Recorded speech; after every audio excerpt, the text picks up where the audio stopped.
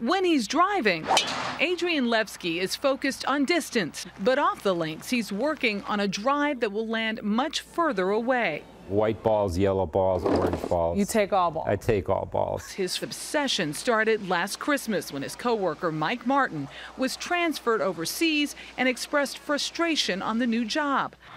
Immediately, Levski thought golf was the answer and started begging friends to donate golf balls. No one ever said that's a crazy idea. You know, the more times they said it was a crazy idea, that motivated me that much more. Crazy because In a sport associated with manicured lawns and green fairways, who would ever thought these balls would score in one of the biggest sand traps in the world? An army base in the middle of the Afghan desert. This is Lieutenant Colonel Mike Martin with 4th LAR down in southern Helmand Province, Afghanistan. Yes, his friend Mike Martin uh, is now in a war zone where golf has become the new pastime. Pressure's on, brother.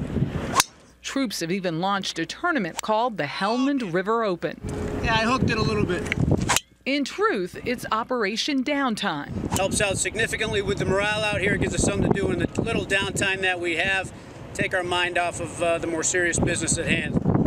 With almost every swing, a ball is sacrificed. It's too risky to retrieve them from the hazard of a minefield. You give me a call in the office. I So take you Levski here, is constantly working the phones, busy supplying reinforcements. Right now, And when his garage got too small, out. There must be a pretty good uh, market for secondhand range balls. Levski called Callaway, the golf equipment company, which coincidentally was already in the game.